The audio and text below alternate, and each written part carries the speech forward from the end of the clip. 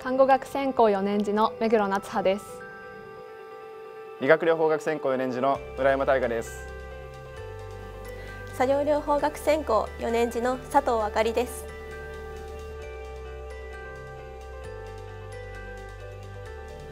高校時代の先輩が秋田大学の保健学科にいて充実した学校生活を送っている姿が印象的だったことがきっかけでしたまた私は地域看護や国際交流や国際医療に興味がありました。秋田大学は国際交流についても積極的に行っていて実際海外に研修に行くチャンスや自分で英語力を高められる環境も整っていました。カリキュラムや課外の活動では地域と実際に関わることができる環境があることを知りそういった環境で学びたいと思いました。私が理学療法士を目指した理由は高校時代に部活動の大会サポートに関わっていた理学療法士の方々を見て選手の障害予防や治療に携わる姿に強い感銘を受けたためです。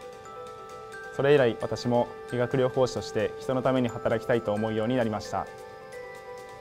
高校3年生の時に理学療法士の養成校を選ぶにあたり秋田大学では1年時より臨床実習がありより多くの経験を積めること解剖学実習があり人体の構造や機能についてより深い知識を得ることができることを知りました。また秋田県は高齢化率が全国1位でもあることから地域に根ざした医療が必要とされているのではないかと感じました。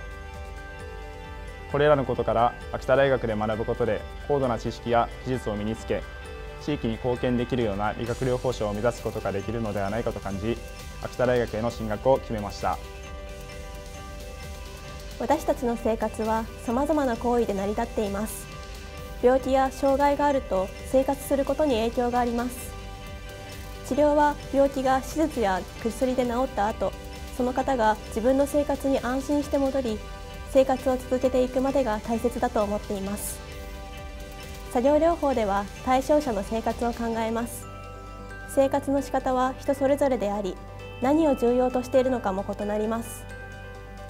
作業療法士はその人の生活のために何ができるかどんな支援ができるかを考え実践する仕事であり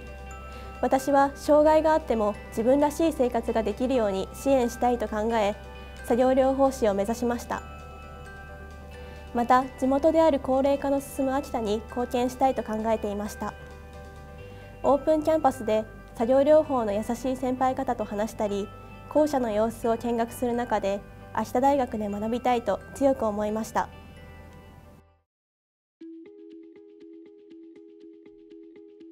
私は保健師コースを専攻しているのですが地域の歴史文化などについても学んだり地区調査といって直接出向いて地域の様子を捉えたりしながら人々の暮らしと医療との結びつきを学ぶことができました。また自分たちで捉えた地域の背景現状をもとに健康教育のテーマを一つ考えコース全体での発表会で実際に健康教育を行いました。分かりやすく視覚資料なども作成したり地域の方が聞いてくれるような内容を工夫したりするなどプレゼンテーション力も身につきます。班のメンバーだけでなく全体でも意見交換をし合いながら深く学ぶことができます。印象に残っている授業は3年時に開講される老年期障害理学療法学です。この授業では高齢者の運動機能障害に対する理学療法の理論や技術を習得することができます。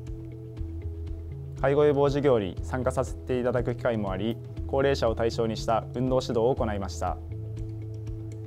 高齢者の方々と時間を共有する中でどのような運動の方法が効果的なのか指導を行うにあたりどのような説明が適切なのか考えながら取り組むことができました。また課外活動として県内各地域で開催される等級障害予防教室にボランティアとして参加する機会もあります。この取り組みでは野球を行っている小中学生を対象に超音波を利用したメディカルチェックや各種検査測定ストレッチ指導を行い参加者の方々に怪我の原因について知ってもらい自分自身の体のケアを意識してもらうというのが狙いです。私も2回ほど参加しましたが普段なかなか目にすることができないスポーツ障害を対象とした理学療法にも触れることができ大変勉強になりました。作業療法では特に学年を超えたグループワークと自助具制作の授業が印象に残っています。OT では対象者の生活を考える前に我々学生の生活をより良いものとするにはどうしたらいいかを考えました。1年生から3年生が混ざったグループを作りそれぞれイベントなどを企画し交流を深めるイベントや学校の環境整備を行いました。例えば学校清掃 SNS の開設や料理教室交流の場としての沢会など学生の自主性に重んじた活動を実施しました。自助具は身の回り動作に密着した生活補助具ですがその政策では実際に学生が対象者の病気や障害を想定し生活でどう行動が制限されるかを考え生活に役に立つ自助具を設計し制作しました。この制作は友人と協力して作り完成後作成した自助具を持ち寄って後輩を招いて説明会を行い学習する機会を持ちました。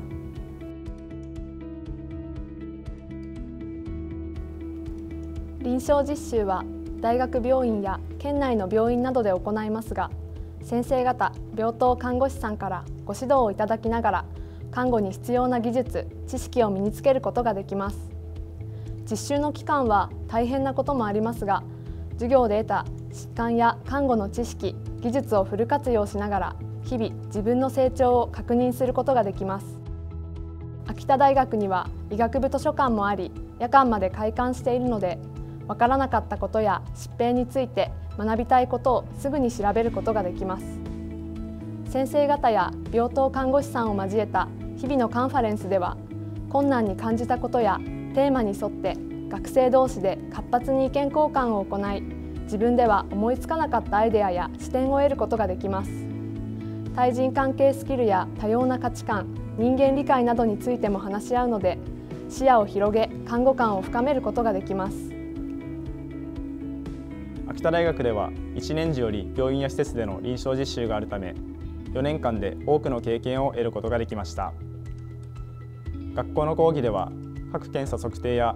理学療法治療について学び学生間で練習を行っていましたが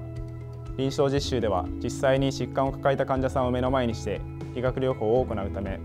臨床現場ならではの難しさや気づきがありました。しかしその中でも自分が理学療法士の一員として患者さんに関わりどのようなことが問題点となっていてどのようなプログラムが必要なのかを考え患者さんの機能回復に貢献できた時にはこれまでにない喜びを感じ人のために働くことの素晴らしさを実感しました。臨床実習は大変なことも多いですが現場で働く理学療法士の方々が丁寧にご指導してくださるおかげで4年間の中で大きくスキルアップすることができました。今まで教科書で病気や障害を学んできましたが実際に対象者と接する中で病気や障害を実感できました。作業療法を行う上で病気や障害だけでなく対象者のそれぞれの考えや好みこれまでどんな生活をしていたかなど包括的に対象者を理解して接することが必要だと強く感じることができました。まだ知識が足りない部分もありますが今後も指導者の先生方からしっかり学んでいきたいと思います。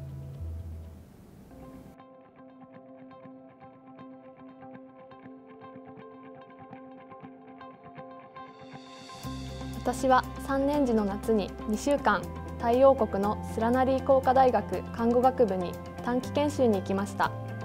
タイではタイマッサージをはじめタイハーブと呼ばれるさまざまな構想を使った伝統医療やタイの多くの人が信仰しているタイ仏教の考え方が医療にも根強く残っていてその独特な雰囲気やリラックス効果を見学体験したりもしました。日本にはこういった伝統宗教の医療はあまりないので興味深かったです。また地域医療では現地の看護師と地域の関わり方を実際に見ることができました。それからタイの看護学生は日本の看護学生と比べると学生の実習の段階で求められることがとても多いので熱心に学ぶ学生の姿から私自身もとてもいい刺激を受けました。私は大学4年間を通して看護を学んできた中で地域医療在宅看護などに興味を持ちました。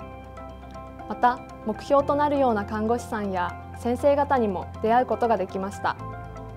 卒業後は秋田大学で学んできたことを生かして地域で暮らす方々と共に歩み支えていけるような看護師を目指していきたいと考えています。将来の目標は地域医療に貢献できる理学療法士としてさまざまなシーンで活躍することです。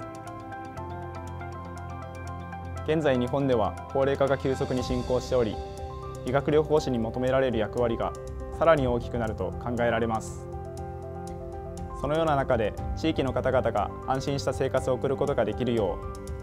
う地域の利用者目線に立ちながら障害予防や機能回復に寄与していきたいです。また理学療法を行うにあたって患者さんとの日々の会話の中でも笑顔や癒しを与えられるようコミュニケーションや患者さんに寄り添う気持ちも大事にしていきたいです。身体障害の領域で対象者が自身の生活に安心して戻ることができるよう支援したいと思います。その方の気持ちに寄り添いその人らしい生活に着目し広い視野で支援ができるようになりたいと思います。秋田大学の看護学専攻では少人数のグループでの演習や実習が多いですがお互いの個性や意見を尊重し合いどのような意見でも気軽に発言しながら活発にディスカッションや活動を行っています。看護技術についても授業外で実習室を使って仲間と納得いくまで練習することができます。先生方や外部講師の方看護師の方も看護の分野で輝いている方が多く自分の目標となるような存在に出会える機会も多いと思います。ぜひ秋田大学で一緒に看護職を目指しましょう。田大学の理学療法学専攻は先生方との距離が近く多学年との交流も盛んなため非常に雰囲気のいい環境の中で大学生活を送ることができわからないことや困ったことがあっても心配いりません。またグループワークやディスカッションが多く学生が主体となる授業が多いためより多くの気づきや発見をすることができます。皆さんぜひ一緒に理学療法士を目指しましょう。秋田大学の作業療法学専攻は1学年が少人数かつグループでの活動が多いためさまざまな考えを共有し協力して課題に取り組んで学習することができます。先生方も個性的で優しいので授業も楽しく先生方の指導で実践の動きなどもしっかりと充実した学習ができると思います。秋田大学の作業療法学専攻に興味を持った方はぜひ学生が解説したツイッターなどを見ていただけるとより大学生活のイメージを持ちやすいと思います。